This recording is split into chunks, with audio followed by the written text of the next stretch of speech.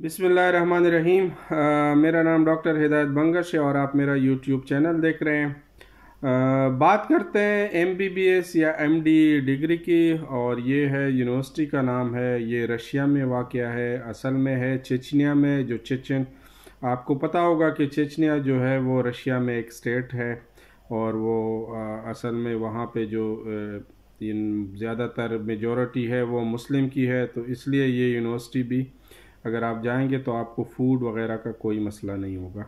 और इसके अलावा यहाँ पे ऑलरेडी जो यू नो लोग स्टडी कर रहे हैं, वो तकरीबन थाउज़ेंड से ज़्यादा फॉरेन स्टूडेंट स्टडी कर रहे हैं। यूनिवर्सिटी का नाम है Chechen Chechen state medical university इसमें मेडिकल का कोर्स होता है एमबीबीएस होता है, या एमडी जिसको कहते हैं सिक्स इयर्स ऑफ़ एजुकेशन है। इसके अलावा अगर आप बात करें तो ये बीडीएस भी होता है, जो डेंटल डेंटिस्ट्री है और इसके अलावा नर्सिंग भी होती है। ज़्यादातर जो पाकिस्तानी है या इंडियन है या बांग्लादेश से लोग जाते हैं फ़ौरन तो वो एमबीबीएस के लिए या एमडी के लिए जाते हैं। अगर इस यूनिवर्सिटी की बात करें फ़ीस की बात करें तो जो फ़ीस है फ़र्स्ट ईयर की fees six thousand U dollar है। इस सिक्स थाउज़ेंड यू डॉलर में अकोमोडेशन भी इंक्लूड है और इसके अलावा आपकी ट्यूशन फ़ी भी इंक्लूड है और इसके अलावा जो इमिग्रेशन चार्जेस है इंश्योरेंस है ए टू जेड आपको इसमें इंक्लूडेड हैं। फ़र्स्ट ईयर में आपने six thousand U dollar pay करने उसके बाद जो है आ, उसके बाद जब दूसरा साल है सेकेंड ईयर से लेके आप कह सकते हैं कि सिक्स ईयर तक। क्योंकि सिक्स ईयर की डिग्री है इंग्लिश मीडियम की जो जो कोर्स पढ़ाते हैं फॉरनर के लिए तो इंग्लिश मीडियम में इसकी जो फ़ीस है वो तकरीबन tuition fee three thousand seven hundred US dollar है और एट हंड्रेड यूएस डॉलर इसकी अकोमोडेशन है।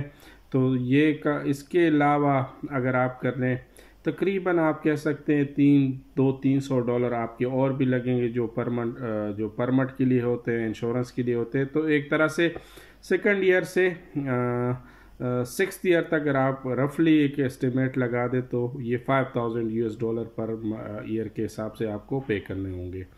अगर बात कर लें, बाकी फ़ूड है फ़ूड एक्सपेंसेस वहाँ पे आप कह सकते हैं सौ से दो सौ डॉलर में होते हैं और वो जो यूनिवर्सिटी है इंग्लिश मीडियम में आपको पढ़ाएगी। और एडमिशन की प्रोसेस जो है, उसके लिए यही है कि पासपोर्ट होगा वाइट बैकग्राउंड होगा, आपके एजुकेशनल डॉक्यूमेंट्स होंगे पुलिस क्लियरेंस सर्टिफिकेट होगा तो ये सारे डॉक्यूमेंट्स आपने वो करने। इसके अलावा जो डॉक्यूमेंट्स है वो रशियन में ट्रांसलेट होंगे और उसके बाद आ, आ, हमारे साथ डॉक्यूमेंट डिपॉजिट करेंगे।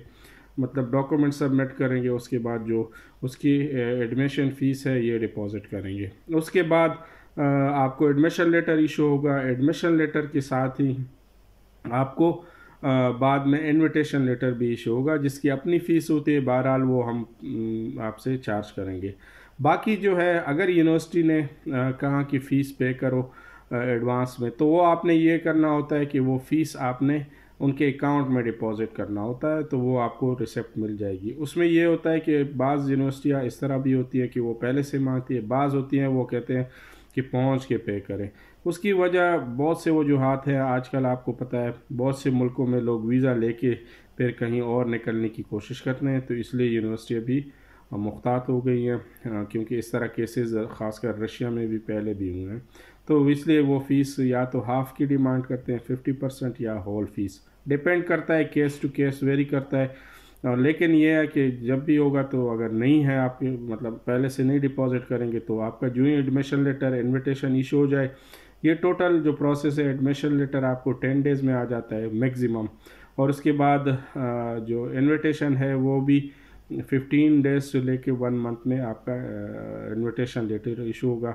वो सारे डॉक्यूमेंट्स इसके अलावा जो भी फ़ीस आपने पे की होंगी और जो डॉक्यूमेंट्स है कॉन्ट्रैक्ट होगा एडमिशन लेटर होगा, वो सारे डॉक्यूमेंट्स आपने एम्बेसी लेके जाने और वहाँ पे सबमिट करना है। तो टू टू थ्री डेज़ में या सेवन डेज़ तक आपको वीज़ा मिल जाएगा। तो उसके बाद आप ट्रेवल कर सकते हैं। यूनिवर्सिटी अच्छी यूनिवर्सिटी है, क्योंकि रशिया में भी एक चीज़ है जिस तरह रशिया की दूसरे स्टेट्स हैं, वहाँ पे प्राइवेट यूनिवर्सिटी अभी बहुत ऑपरेट कर रही हैं।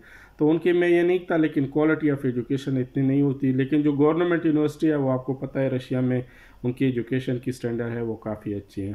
तो दूसरा ये फ़ायदा है कि जो मुस्लिम हैं, उनके लिए हलाल फ़ूड वगैरह का भी कोई मसला नहीं होगा, क्योंकि वहाँ पर ज़्यादातर मुस्लिम रहते हैं। तो इसलिए बाहर से या आप ख़ुद भी कर सकते हैं।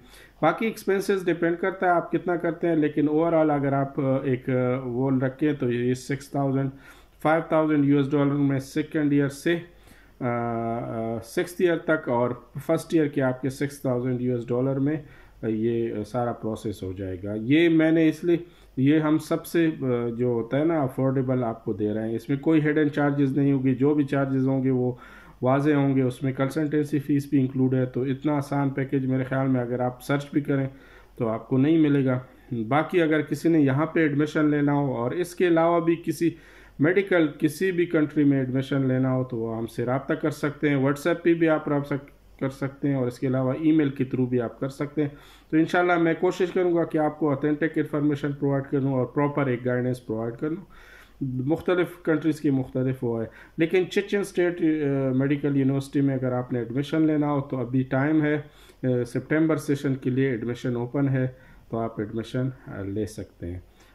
इसके लिए आप हमसे रबता कर लें इन आपको प्रॉपर गाइडेंस मिल जाएँगी। इसके अलावा भी इस यूनिवर्सिटी में और भी कोर्सेज हैं, अगर वहाँ पे आप, कोई इरादा है तो आप हमसे रबता कर सकते हैं। थैंक यू अल्लाह हाफिज़